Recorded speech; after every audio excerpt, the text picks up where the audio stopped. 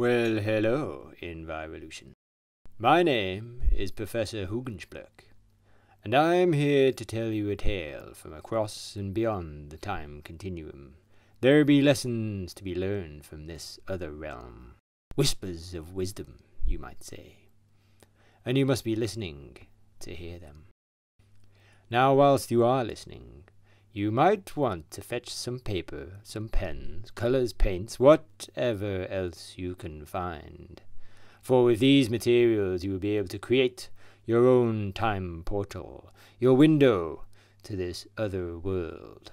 For this tale I shall tell stretches across the very fabric of time and space, over mountains and underneath rivers. And it all begins with a little girl called Gaia. Now, in some ways, she is different from everybody else, and she sees things very differently indeed. But then, in other ways, she's just like you and me, and in fact, she could be your great great great great great great great great great granddaughter. Well, anyway, she has important things to tell us from places that you wouldn't believe. But the thing is, nobody is really listening to her. Her message is getting lost, lost through the passage of time. So will you dare to hear her tales, stories of mystery, of danger, and of the time machine? Now, perhaps you would like to start drawing Gaia and her little floating robot companion. Now, whilst you assemble your materials and start to think about what these two heroes of our tale might look like, I will activate the mechanisms which will transport us across the realms of human imagination.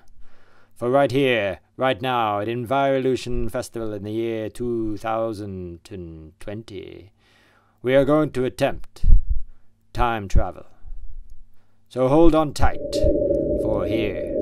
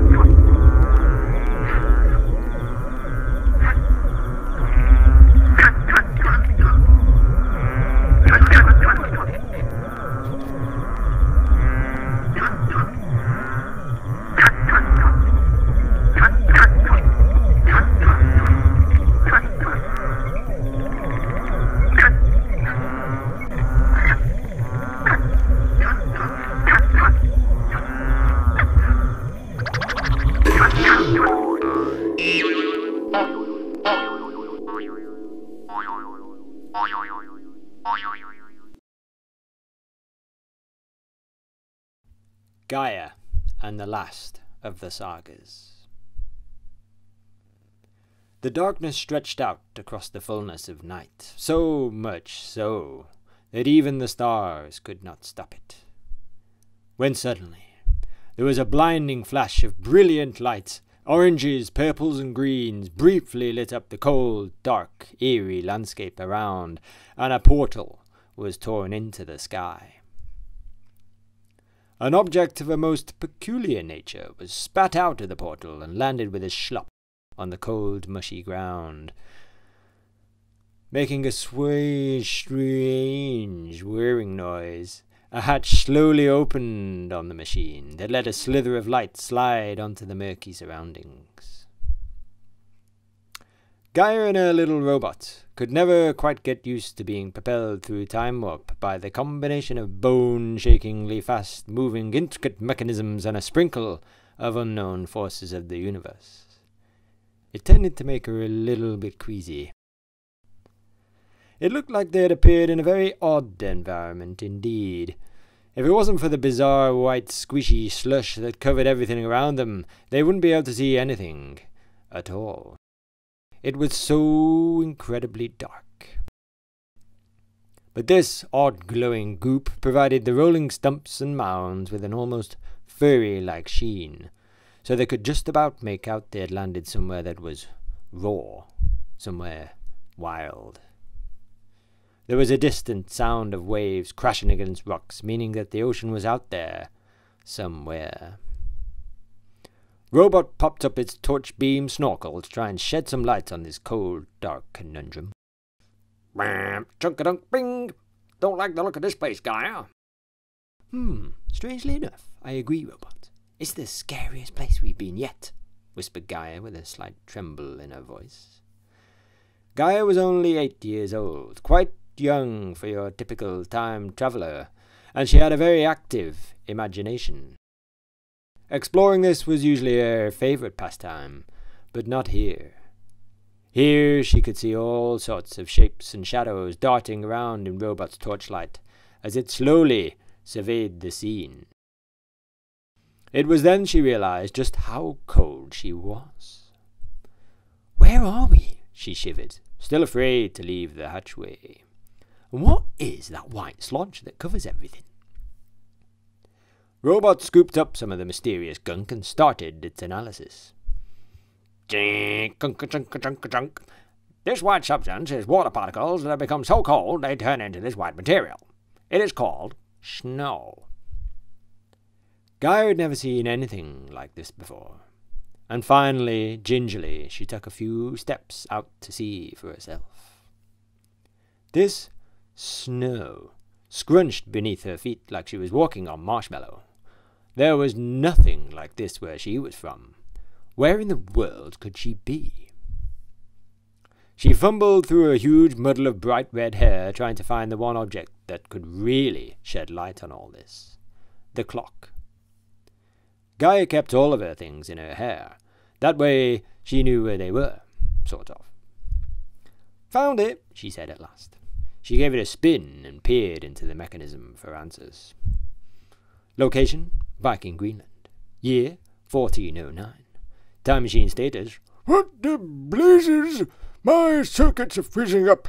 I'm not designed for this kind of thing. Also, I think I might be sinking. Duration 7.5 days until the next time warp. Seven and a half days in this cold, dark misery! exclaimed Robot. Seems so breathed Gaia as she watched the steam from her mouth make whispering shapes in the black. Greenland, eh? It definitely didn't look very green. Whoever named this place clearly didn't know anything about colours. Well, might as well make the best of it then, she said cheerily. Come on, Robot, let's go and explore. bing, bing. Explore? Are you serious? protested Robot. We can barely see anything. Robot carried on complaining as they slowly stumbled their way through the darkness, trying to see if they could make out anything or anyone. What if you fall down a hole or get eaten by some big hairy snow monster of some sort? Well, I'd be the first to say I told you so. Will you stop your moaning? said Gaia at last. Try being helpful and figure out when the sun comes up. Strong, chook, chook. March, by the looks of things. That's in five months' time. I said this was a bad idea, replied Robot in its most sulky of tones. Crikey, said Gaia, this place is crazy. Why on earth has the time machine brought us here? Surely there can't be anything living here.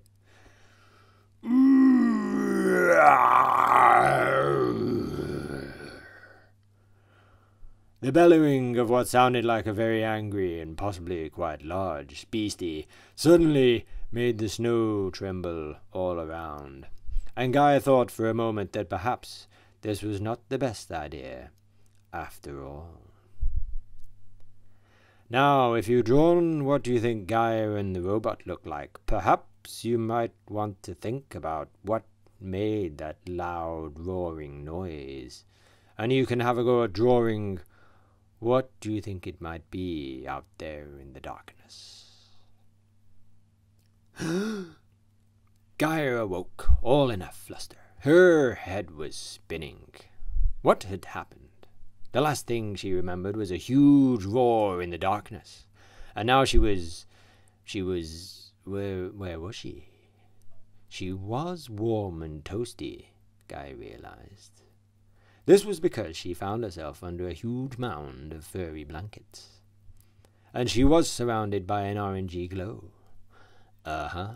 This was coming from a small fire by the side of her. Gaia was still quite shaken and couldn't make out much, but it looked like she had been brought into some sort of cave. There was certainly no sign of the time machine, or anything that was. Not yet. Then suddenly, there were blurry shapes approaching, their shadows dancing on the walls, with orange flames flickering around them.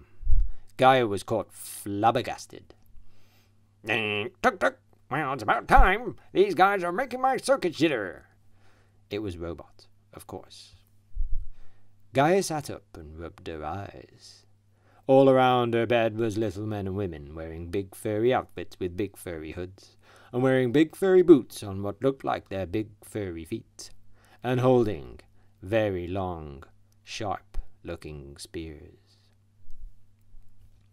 So next you might want to draw. What do you think the snow people look like? These folk from the northern skies, with their furry outfits, with furry hoods, with furry boots over their furry feet. And remember, their long, sharp looking spears.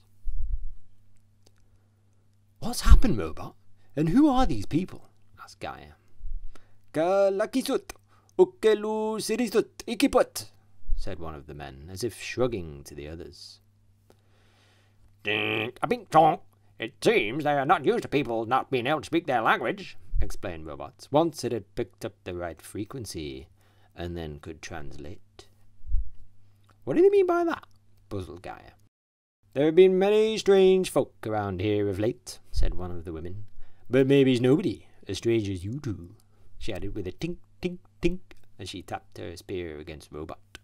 Bang, bang, bang, bong. I'd, I'd, I'd really like to say I don't like this one bit, cried Robot. Oh, chill your boots. They don't look like they want to harm us. In fact, I think they quite like us, said Gaia, smiling as she climbed down, swaddled in furry blankets that they had clearly given her to keep her warm. Stood upright, she was about the same size as their new friends. They had wind worn faces surrounded by jet black hair and very inquisitive eyes. They definitely looked like they were well at home in these northern lands of snow and darkness. So, what was that big roar that we heard, and what happened next? It turned out that these people from the north had found Gaia knocked out cold in a mound of snow. They told her that they were sure it was all something to do with the big, nasty, hairy beast that had come from across the waves. It had to be their fault. They were pure evil. Then there was a collection of murmurs and mutterings, and then one who looked quite old said, We should attack at once. We should drive them out of our lands forever, shouted someone else. A cheer went up in the cave, and everyone there started to gather themselves together, as if getting ready for war. How do we always find ourselves in the middle of all these prickly situations, Robot? Gaia pondered as they followed along behind. But what choice did they have? The people of the snow hadn't mentioned anything about the time machine, and it's not an easy thing to hide. Perhaps it'd been taken by the hairy beast from across those waves, or something else entirely. Either way, they had to find it it was their only way home. Well, I knew this would happen, came the sound of a voice like the crinkling of old leaves. A voice which was as old as the hills. You could have told us, said an equally ancient and worldly wise old woman. Now, now, you two, we have to use our powers truly here. This turn of events is not intended for this world. The voices came from three ancient women who were gathering around an ancient well, spinning ancient thread under an ancient tree which was woven into the very fabric of the universe itself the tree of life. These three shrewd mystics were called the Three Norns, and they each had the power to be able to see through the trails of time and decide the fate of those who travelled through it, whether by natural means or not. One had the power to look into the past, the other into the future, and the third into the present, deciding the fate of those caught in their endless spinning in the yards of time. In the waters of their well they could see the band of snow people struggling through the everlasting darkness, and Gyron robots with them, struggling to keep up. The three old crones braced themselves. On to your walking sticks, ladies. This is going to be a tale like no other. So, perhaps you could draw the three Norns by their well, underneath the tree of life. After finally appearing out of the twisting caverns of the cave, Gaia and Robot could just about make out huge tall mountains and cliff tops above them, rising out of the gloom. They trudged over the rugged rocks and icy slopes, battling against the howling winds and treacherous snowdrifts for what seemed like an age. Just as Gaia felt like she was too tired to take another step, one of the group shouted out against the roaring winds. They had spotted something ahead. Peering over the ridge, Gaia could just about make out glowing lights below them, and the occasional flicker of white from crashing waves. Through the whirling winds and blinding snow, she could see a settlement of some sort. A shaky shudder of fear went through her. Who were these evil demons that the folk of the snow spoke of? Did they own the roaring beasties that haunted these dark lands? If so, did they really want to be tootling on down there and saying, Get off our land, with nothing but puny spears to poke them with? Well, it was too late to try and reason with them. With a long honk on a walrus horn, they were off charging down the snowy hillside like an army of angry gerbils, wailing their war cries. Not for the first time on our adventures through time, Gaia felt completely helpless. What could an eight year old girl possibly do about all of this? These people must hate each other. Robot could tell what Gaia was thinking by now. Bonk, bonk. Don't you dare, Gaia. You can't go sticking your nose into all these kerfuffles. According to my databanks, this fight has been going on for years. There's nothing you can do about these kinds of things. You're only one person, you know. Gaia had heard all this before from her grumpy metal companion, and it usually made her stick her nose into kerfuffles. Maybe she could get on down there and stop all this foolishness, Gaia thought. Surely they could see how silly they were being. Wouldn't it all be a lot better for everyone if they worked together in this hard land of darkness and fear? Gaia was just working herself up to heading on down there and giving them a piece of her mind, when there was a sudden flash of brilliant light beside her. At it again, are they? came a voice that sounded like he had seen a few too many battles for one eternity. Gaia couldn't move, let alone speak. She and Robot froze where they were. Oh, sorry, I suppose you're wondering who I am, said the humongous giant who towered above them both. He sported a huge, long, blond mustache that reached down past his armor and furry waistcoat, past his collection of sharp and gruesome-looking assorted weaponry, right down to his colossal boots. My name is Forseti, the Viking god of justice, he said, rolling his old all-seeing eyes, as if the very words of his own name had become a bit of a bore. So perhaps here on your time portal you could draw the Viking god of justice, Forseti. Somewhere inside the sheer terror of what had just happened in the last few moments, the thought, God of justice, squeezed through Gaia's mind. Um, can't you please do something about all this then, Mr. God of Justice, sir? Gaia asked, as politely as she could. Not until they reach Valhalla, boomed the god with an unexpected burst of pride. Gaia looked at Robot with glazed, empty eyes. She was a bit out of her depth here. Ching! Weep, weep!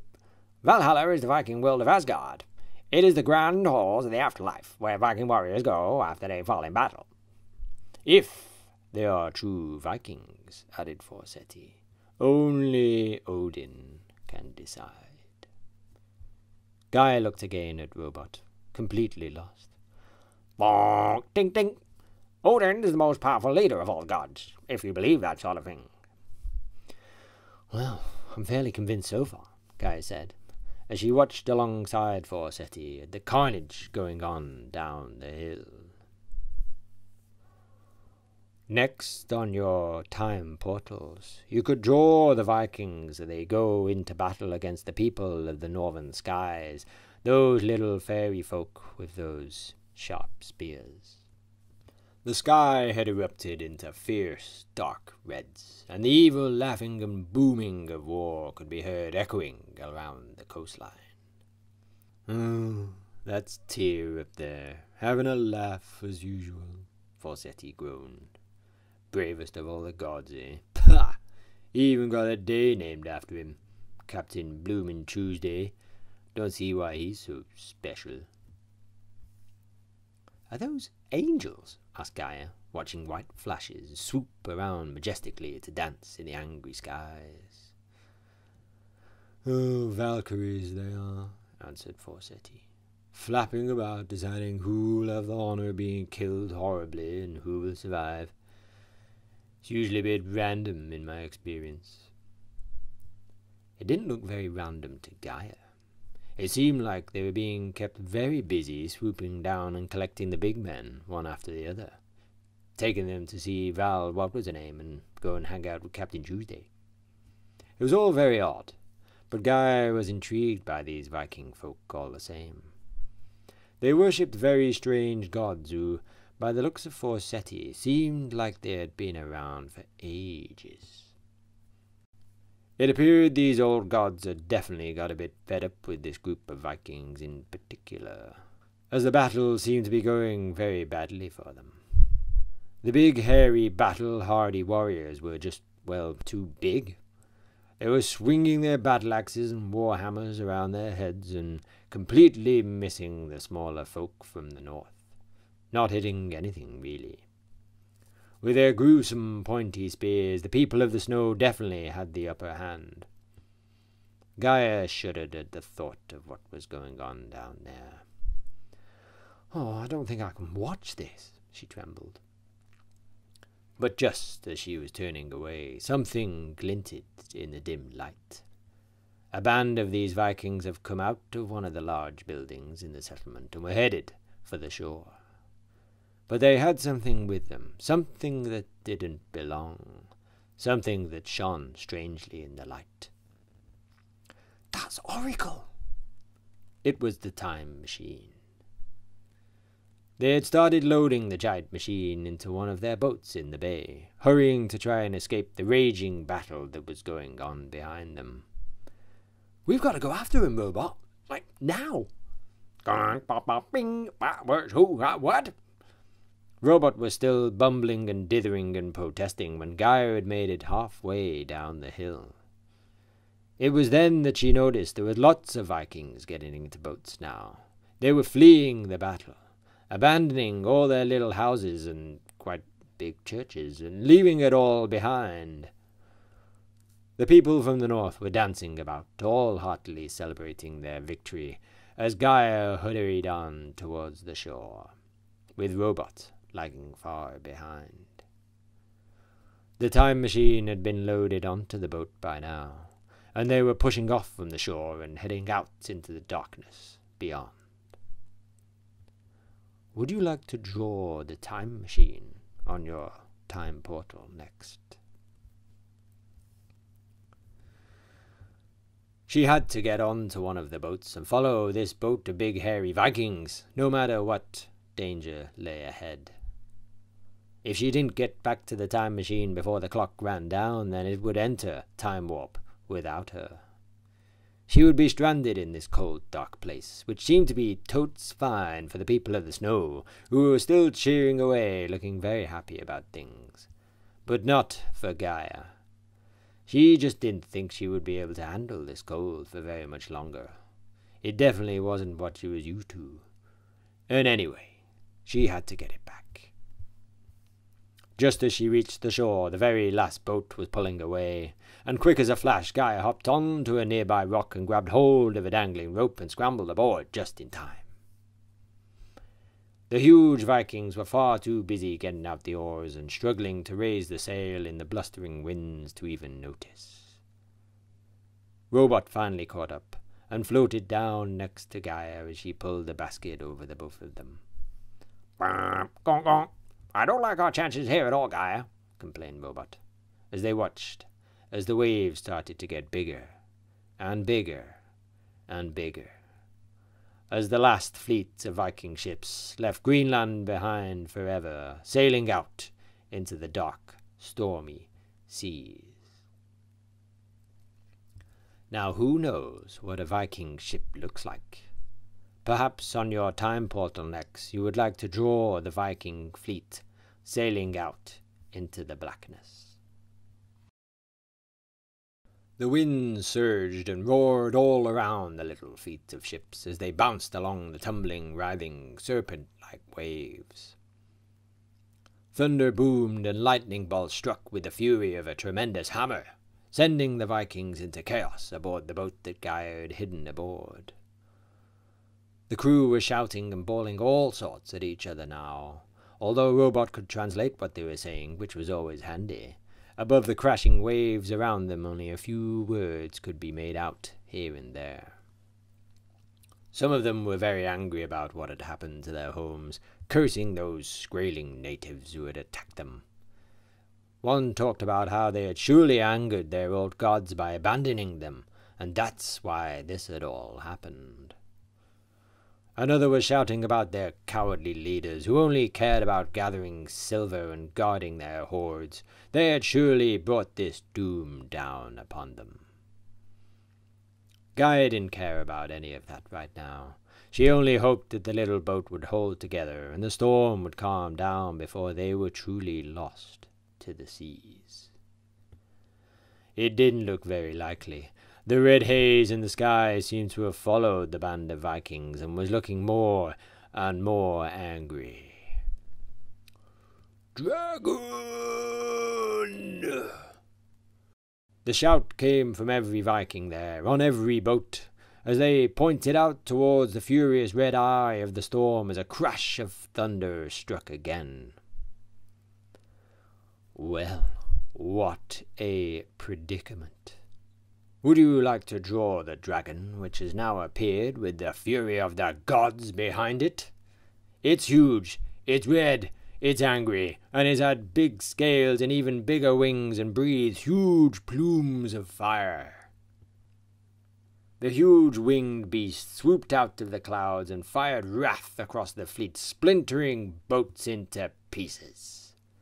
The boat Gaia was aboard got lucky this time. The Vikings aboard Gaia's boat were shouting all kinds of garbled craziness now, fighting about Ragnar's rocks or something, as the dragon continued to obliterate their fleet with its rage. The rigging came loose and sails tore to shreds as the arguments continued. One of the crew named the dragon Eric the Red back for revenge. Gaia hung on tight, closing her eyes and hoping for the best as another ship was blown to bits in fiery flames just next to them. It was then that she heard the alarm. It was going off in her head. No, wait, in her hair? It was the clock. It was Oracle. The time machine was trying to talk to her. She fumbled about in her tangled red mop and finally pulled out the clock and popped it open. Location Deep Ocean off the west coast of Greenland. Year 1409. Time machine status. Well, I'm not happy about all of this. Combination of fire and salt water interfering with time circuits going into overload. I am powering up for immediate emergency warp. Duration currently 23 hours until the next time warp, but the clock timer was accelerating towards zero rapidly. Oh no! screamed Gaia. There's got to be a way out of this somehow, surely, right, robot? Bonk, bonk. I already abandoned all hope quite some time ago, I'm afraid, Gaia. But we have to try, she squealed. It was then that she noticed those faces. Gaia, in her astonishment, had flung away the basket that was hiding her and Robot and was stood out on the deck for all to see. From here she had a good view out across what was left of the battered fleet that were all being tossed around like socks in a washing machine. Oracle, her time machine, was on the biggest of all the boats, with a crew of huge, hairy monsters of men, with so many trinkets and jewels all over them that Gaia could quite easily make out those ridiculous twinkling beardy beacons, even from this distance. There wasn't much time, and things were looking increasingly desperate. Gaia started to panic. She had to get over there somehow. But how? Everyone on the boat had first jumped back at the appearance of Gaia and the strange robot but they had picked up their weapons now and slowly started to edge towards her. Gaia felt the hairs on the back of her neck prickle, and fear overcame her once more. She suddenly felt like a very small fish in a very large pond. And just as the crew closed in with their weapons raised, the angry clouds erupted into flame behind them in the shape of the dragon's eyes. The huge red devil hovered above the boat, staring directly at Gaia for a heartbeat or two that seemed like it was hours. Its gaze seemed to reach into Gaia's very soul. Me There was a cackle around the well. The ancient and wizened women, the three Norns, were collected around the tree of life. They were all now trying to untangle the thick red thread that had twisted itself through time. Well, this little girl is getting up to all sorts of mischief, said one of the mystics. Aha! There we have it, said another as she managed to undo a most troublesome knot. It is time, said the third, as a malevolent darkness suddenly enveloped them all.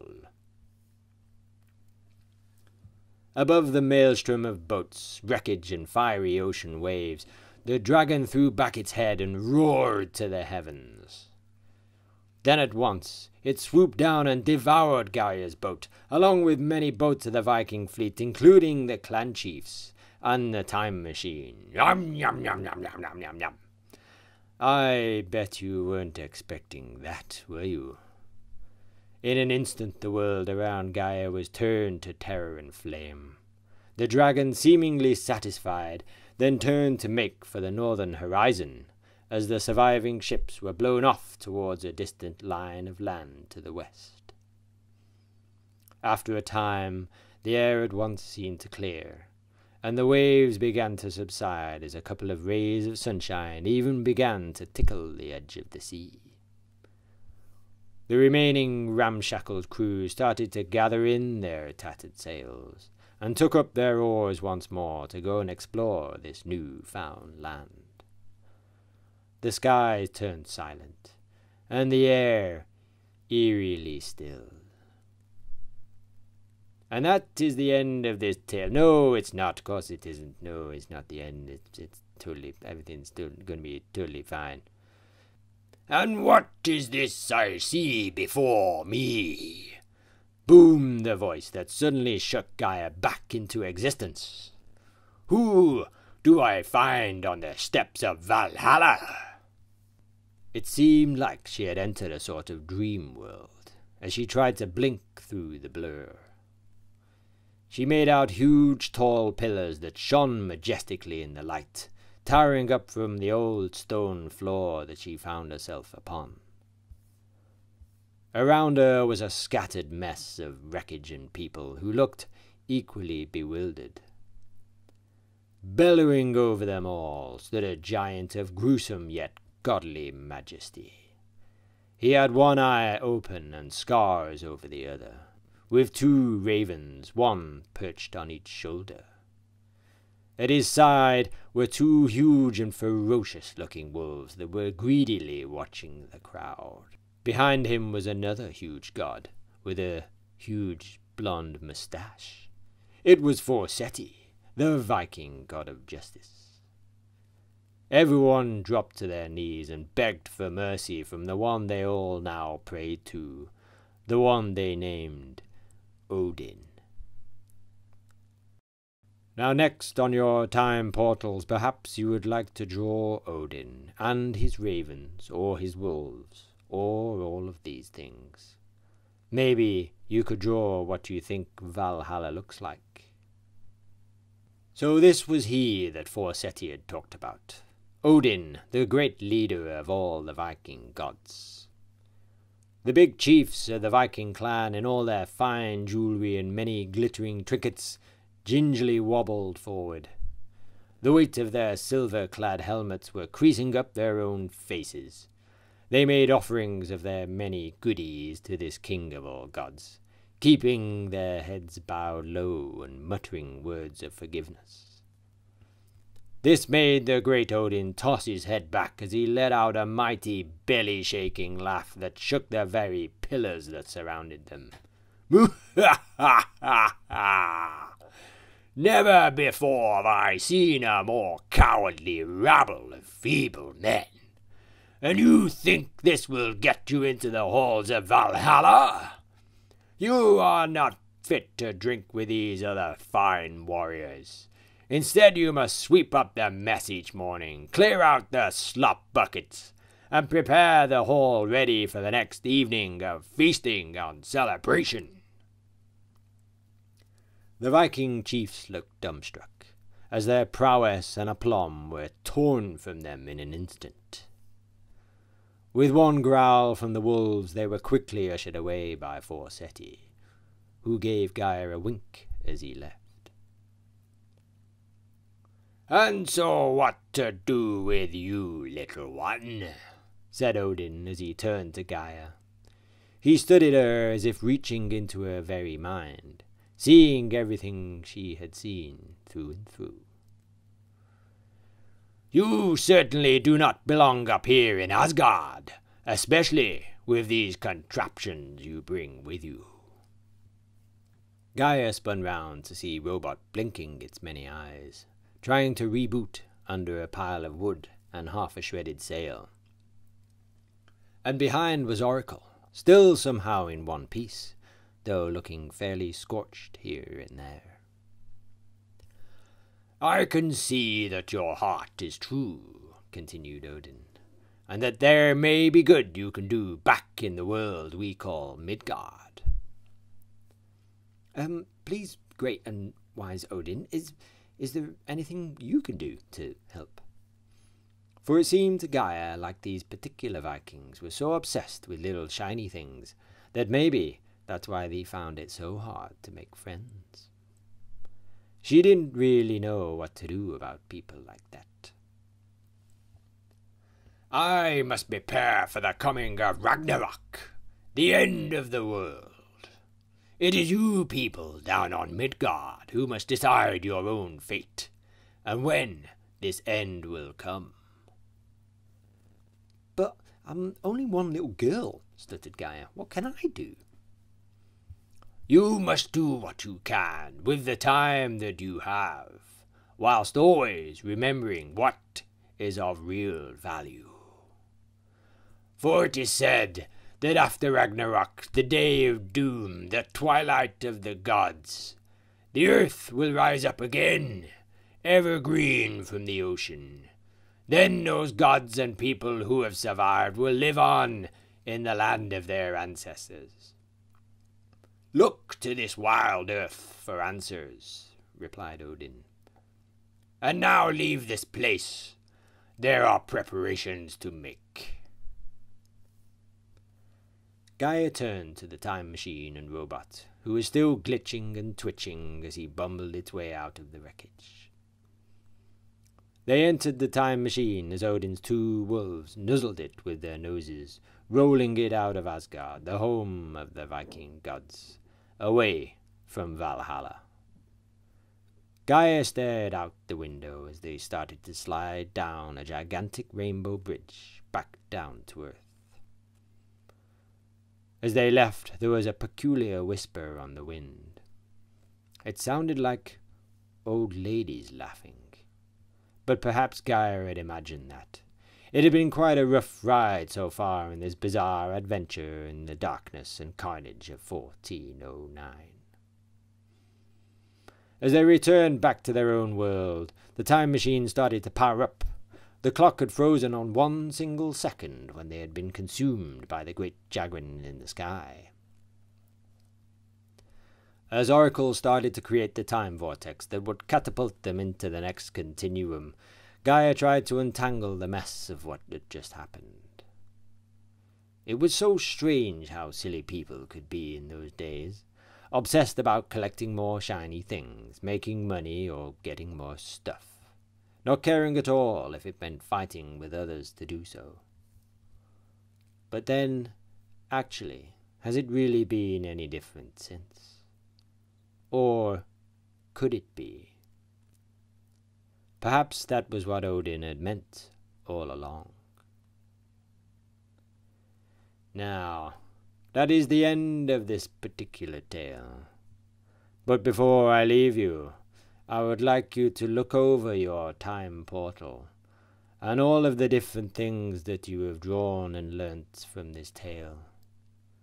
Take that with you onwards in your journey, and never forget the tales of Gaia and her robot and the time machine.